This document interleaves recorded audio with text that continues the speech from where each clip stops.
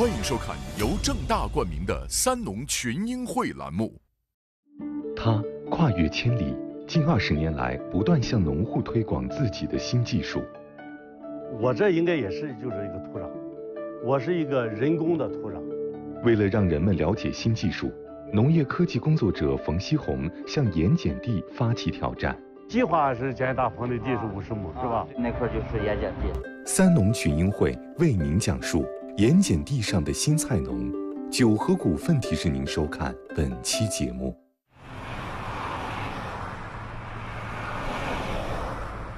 就是我来的目的就是想通过我的技术、我的品种，呃，让你们有效益。搞宣传，今天不烧你面软，不吃大亏的。这是我跟你说心里话。这位头发有些花白的老人名叫冯西红，是一名农业科技人员。他正在向农户们推广的是这种人工基质针，它可以代替土壤进行栽培，相当于一种人工土壤。但农户们似乎并不买账。你是十几个棚，其中有四个棚日光温室，咱合作四个，我想四种四收。你们今年要是能和我咱合作，搞机制栽培，你搞成草式的啊？不是现在人都不愿投资。对对对，是啊。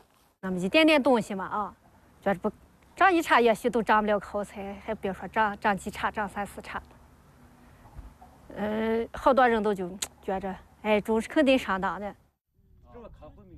这样的场面，冯锡红并不是第一次遇到。我原来是农村开发报记者，呃，我经常采访专家，这个知道好多成果都锁在抽屉里。呃，到农民当中呢，采访呢又发现了他们的品种单一，技术落后，就他们渴望成果，没有人给他来推广成果。也就是说，过去在专家在科研和这个农民应用的这个过程当中啊，有一条鸿沟。我呢就想给他建立一个桥梁。宁夏回族自治区由于蒸发量大，在一些地势低洼地区，地下水蒸发过后，土壤中盐分会大量累积，从而造成土地的盐碱化。这一次，老冯希望在这片盐碱地上搭起桥梁。宁夏的这个日光温室啊，总面积达到二十万亩。宁夏全年日照时间长，昼夜温差大，非常适合发展日光温室。这样的日光温室可以用来种植经济价值较高的瓜果蔬菜，提升农户的收入。日光温室种植蔬菜啊，尽管有很多呃优势，但是它也有先天不足。呃，因为它是有个塑料布把这个雨啊、阳光啊都隔离了很多。让它这个土壤不能自然的分解一些毒素，所以它就连锁障碍非常严重，就导致了大幅度减产。当地发展日光温室比较早，现在有相当一部分农户家的日光温室使用时间都超过了十年，连续的耕种又会让原本的良田逐渐盐碱化，造成农作物减产，农户收入减少。老冯希望用科学的手段减缓土地盐碱化的趋势，让农户的收成不再受到土地的局限。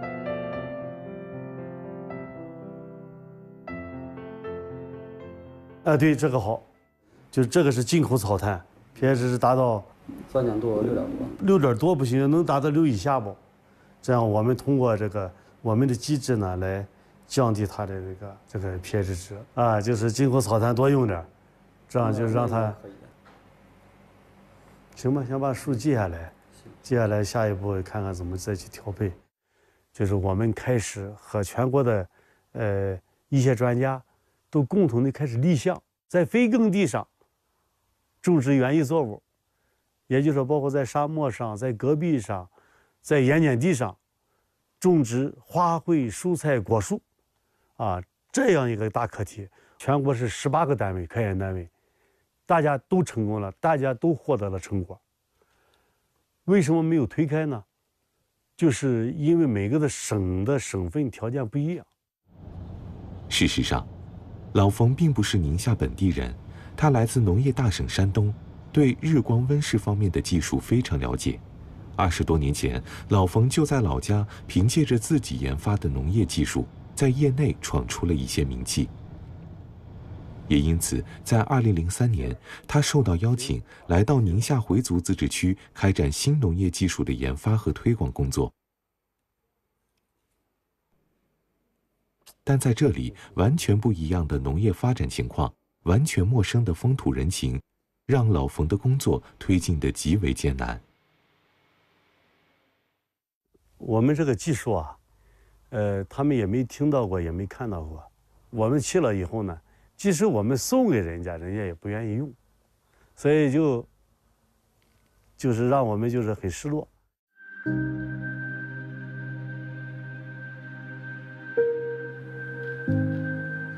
过去的成功经验并不能直接在这里生搬硬套，一切都得重新开始。老冯意识到，虽然自己的成果获得很多专利和荣誉。但是要想在这里得到人们的认可，还是得让当地的农户们对新技术有更直观的认识。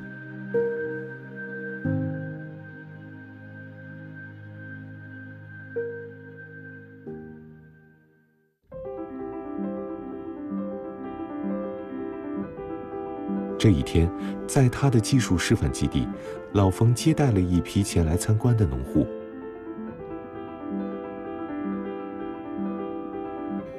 哎，大家，你你转过来身子看后边这些这些红果，你们摘下来，有的可以摘下来尝一尝，口感更好。西红柿真好啊，是吧？真好真好，对吧？有有啥瓤没有？有有有。你尝一尝，你感觉咋样？挺好吃的。再吃一口，怎么个好吃法？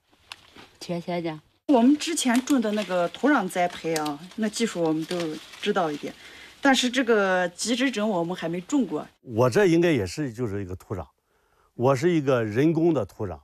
里边有秸秆，有牛粪，经过微生物发酵呢，它是有各种全面的，叫全营养，含有全营养素的，透气性好的这个人工土壤。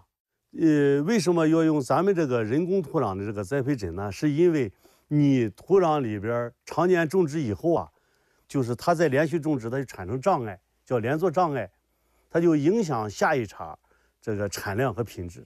它就起到了新的土壤的作用。这个基地袋能用多少年？对呀，这个就是，呃，正常的你可以用两年、三年都行。假如要是我们要种这个基质栽培，这基质基质袋这个每袋多少钱？这成本现在多少？我们能不能优惠啊？这个根据这个需要量。是吧？还根据这个面面积的量大了，这就价格就便宜；量小了，你就，呃，就是你发不过去货就很贵。进来看，来，往里走。从现场的情况看，农民们担心的问题还是价格偏高，害怕难以收回成本。农民都反映价格高，我们也很矛盾。原因呢是这个栽培针里边啊。一定要用一部分进口的草炭，对这个植物的生长所需要的各种营养，它这个置换能力很强，转化能力很强，所以说它的成本很高。第二个因素呢，就是，呃，它需要量比较大，所以它不是因为单价高，是因为用的量大，成本高。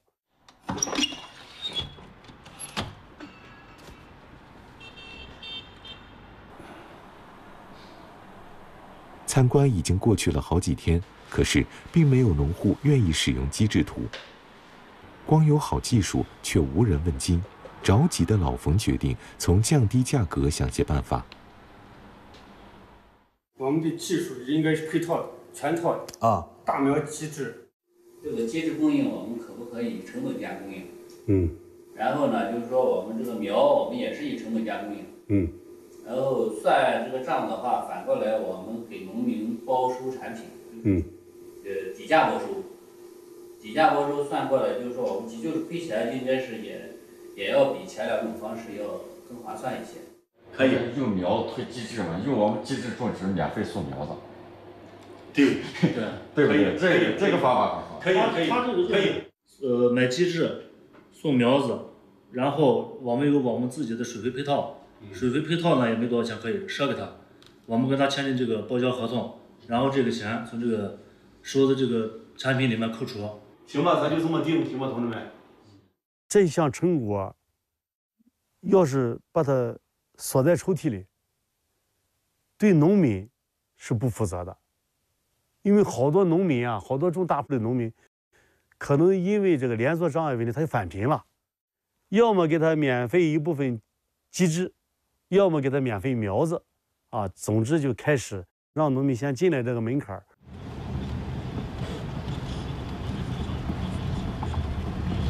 我们开始踏上征程，谈项目、谈合作。好，老赵，咱们得聊聊。哪个棚啊？小心你慢点。哎呀，好好好。我那个定制一个月，一个月十天就卖果了。你这里才是才第第才第二穗才开花。俺们这才点两岁花嘛。啊，两穗花才开花。我感觉就是，咱们已经合作过，这叫机制栽培了，还又恢复到土壤，就是个退步，叫远离了高收入。就是我们探讨过了，就说我们给你买机制，这个我们送苗子，送大苗，五十天的大苗，你只要是按市场价格给我们产品苗子钱就送了。这两个农户，老冯已经不是第一次打交道了。在不久前，老冯为了把自己的新技术快速推广出去，曾经免费给他们栽培机制试用。但在经过两茬收获之后，这些村民却拒绝再使用机制，而是换回了原先的土地来继续种植。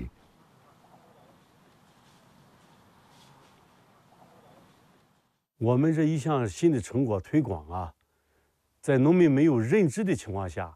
你必须赠送给农民，否则农民不用。我的苗子要送给他，他省了钱了。再一个，他四茬的耕地费用他节省了，四茬的有机肥的呃费用他节约了。综合起来，他的投入产出比是高的，啊，回收是高的，最后就能认我的账，我有信心。你说俺们风险太大了，农户的风险太大了。你看他们刚才说的，机制来俺们弄，机制俺们一亩田现在不不论种不种，俺们现在已经把一万多就投进去了。俺们现在就像，这现在跟这个跟这个相比，俺们这一茬，现在没有种之前，俺们这一茬下来也就是个两千片左右，成本是两千片左右，甚至三千高一点，三千，俺们就说三千片，这现在一万二呢，高于俺们四倍了。这是实话，这是所有农民都是都就这么想的，不单单代表我。谁都种这个都是利益最大化，那再加上后期万一这个东西价格区间这再有波动呢？一块钱成了五毛钱了，咱们现在承受不了的就是那个机制土。现在机制土如果是不收费，咱们就能行，或者是再适当减掉一点，减掉一部分。他们以前跟我们合作就是机制，咱们不花钱，苗苗款由农户来提，嗯，农户来承担这个这一部分，这这个能这个能承担。现在的农户啊，这边普遍都是这种现象，他不会考虑都是说是因为我们这个模式啊，因为也是刚开始推啊，呃。你说的再好听，农户他毕竟他没种过，他对这个是忙着，他不知道，他对后面就是能给他的产收达到什么样的效果，他不清楚，他是有顾虑的，所以他还是就是比较比较比较就是有点这个接受不了。你那个棚闹不闹？我是想闹呢，就前车就是那个机制，嗯，太贵，嗯，俺们利润小，嗯。那这个事儿今天也不定呗，定不了，定在元月份呢。元月份定，啊，好，这个成本呢，我们一直也在试图降低，降低再降低，啊，就是，呃，我们降到了很微薄的利润，我们实在让不动了，啊，就觉得投了那么多的资金，这个成果啊，可能就血本无归了。新技术推广又失败了，这也让原本充满信心的老冯心情低落，带着满身的疲惫，老冯回到家中。啊，西红柿让你炒鸡蛋。啊。看看怎么样？西红柿。豆腐炒大葱炒豆腐吧，这个。啊，大葱炒豆腐。妻子不放心年近六旬的老冯独自身在异乡，每隔几个月就会从山东老家过来看看。好，今天做的不错。你怎么想起给我带煎饼来了？这会儿？啊，你不是愿意吃吗？一个是吃粗粮，对身体有好处，特意给你买的，从那个 超市里。哦。好长时间没吃煎饼了吧？我这会儿来就端了煎饼了。嗯。正好你带来啊。哎呀，汤很香。嗯，很好。嗯。他一心一意扑在工作上，家里的事儿什么事儿也顾不上。因为老人是生病了，他根本顾不上。当初他来宁夏的时候，肯定家里都不愿意。这么大年龄了，老母亲也年龄大了，嗯，在这边就重新开，重新开始吧，重新创业。他那个性格脾气就干不成事他他不罢休。有一次那一年还是那个从那个大坡上摔下来了，摔下来以后那个锁骨给断了，锁骨断了就住了好长时间的院。担心家里担心嘛，没给父母说，没给老人说。第二天叫我来的，呃，接着坐飞机过来。过来以后呢，就说不干了吧，这就算了，咱也不愁吃不愁喝了，起码是什么自己来说。他不行，他心心眼儿的，还是要，还是要把这个事儿做下去，把这个事业。自古就是叫，呃，忠孝难于双全。你热爱着国家，你为国家要做出更大的贡献，你家庭的这个。呃，孝道你可能就尽的少，就像军人一样，是吧？我们有好多科学家，你包括南极啊、北极的考察呀，你有多少科学家也都是几年不回家呀？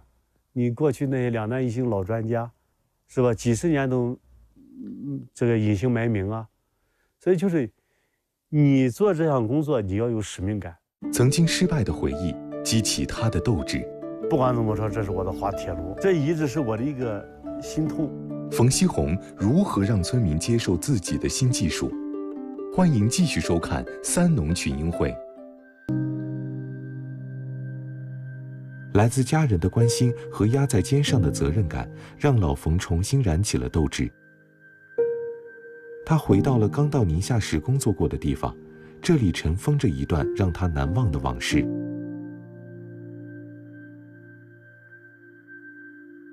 零五年呢，我在这里发展了五百亩西瓜，农民出地，出劳动力，我呢是负责出钱和出技术，前期非常好。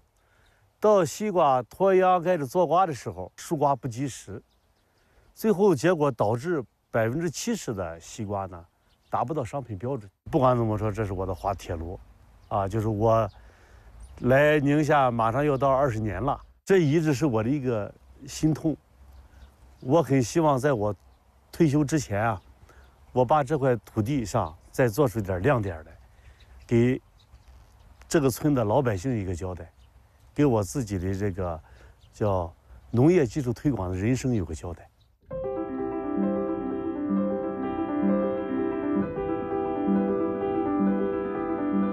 自从上次失败的经历之后，这还是老冯在宁夏第一次受到如此大的挫折，但这一次也同样没有让老冯消沉，他重新踏上了为新技术找销路的旅途。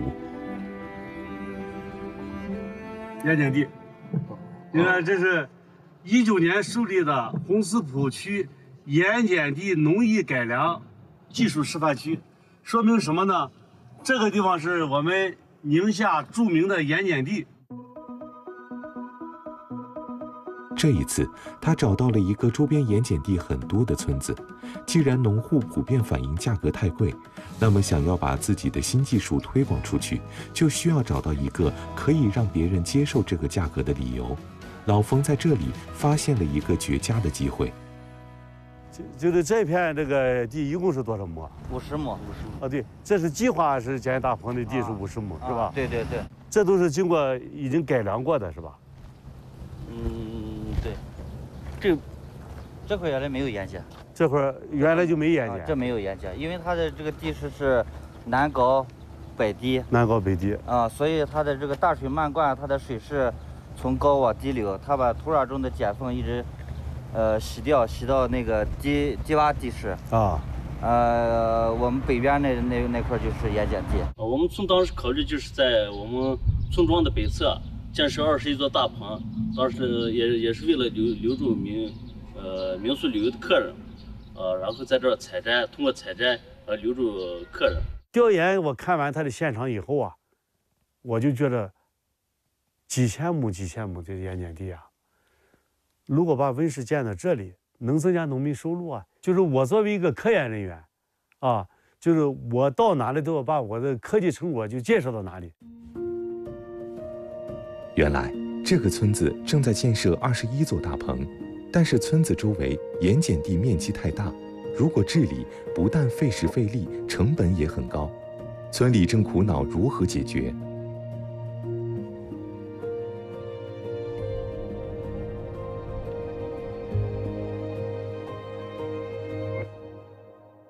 这个地方叫白浆土，那个土啊，就是种植蔬菜，得需要大量大量有机肥，得需要两三年以上的改良才能种好的产品。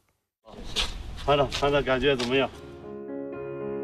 经过老冯的展示和讲解，村里人终于认可了他的新技术。就是我们的这个模式呢，就是已经经过多种实验示范，希望能跟你们合作，啊，就是让。满足你们这个旅游的需要，呃，这叫民宿，是吧？大家在这里住在这里，吃在这里，啊，我们有信心能跟你合作解决这个问题。就是采摘在这里啊。此前，在村民们眼中，价格太高的新技术，要是用在这里，则比起治理盐碱地的费用要少得多。四万斤分水。